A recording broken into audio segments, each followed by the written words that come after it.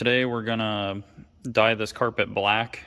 I already vacuumed it and used my cheap little steam extractor to clean it up. It's not perfect, but it's a lot better than it was. Um, it's kind of this dark charcoal color right now, but we're gonna dye it black. So I'll get the dye mixed up and then go over the process. All right, so I've got this uh, one gallon pump sprayer with just under a gallon of water, hot water in it. Um, the black RIT dye, and then I've got one cup, looks like more because of the way it's sitting on the bumper. I measured it on level ground, but uh, one cup of white vinegar. So then we'll just mix all this together. Uh, on the dye, it says to shake well before you add it in there. So I did shake the bottle up for a few minutes before I did that. And then we'll just add the vinegar. Uh, the vinegar is supposed to be almost like a bonding agent. So that's why you're supposed to add it. Um, and it says on the package, like, um, what you're supposed to add. So if you just read the back of your label on the RIT dye, it'll also tell you to do these things. So we'll put the lid on the pump sprayer and shake it up real well, and then we'll be ready to start dyeing. All right, so the way that I do this is, I'll just kind of show you out in the open here, is I just spray the dye in and then scrub it with a scrub brush, something like this, just to get it down into the fibers of that carpet so it has a nice even color whenever it's done. But um, I'm going to start at the front and work my way back so I don't get covered in this stuff.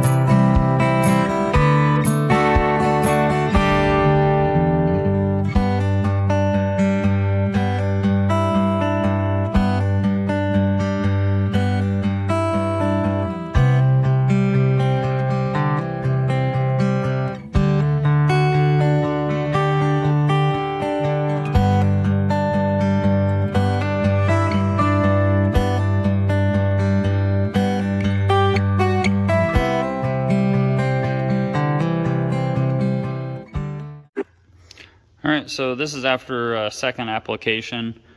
The second go around, I mixed up another gallon, but I used a container and a half of the dye and the same amount of vinegar and hot water as before. Um, yeah, it's quite a bit darker than it was whenever we started. It's kind of hard to tell just because these bright lights are shining on it. The back still looks pretty light, but um, and then we've got all the brush strokes from brushing that dye in.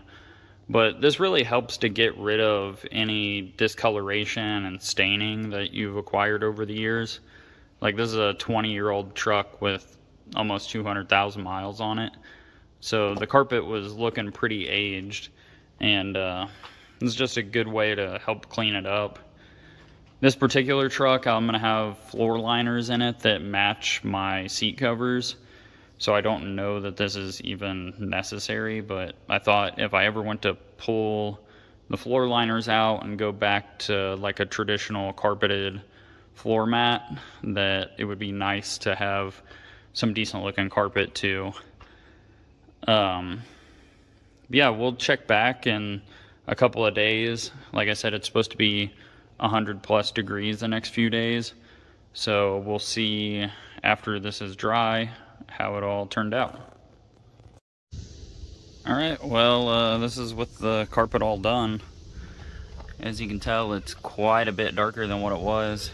Um, in the video, it looks lighter on those high spots, but that's just the video. I think the way that the light's coming into the truck, but way darker, looks way better. Got rid of a lot of the staining and stuff that you could see before, just covered that up. Made it look a lot more uniform. Yeah, that's the end result of dyeing the carpet black.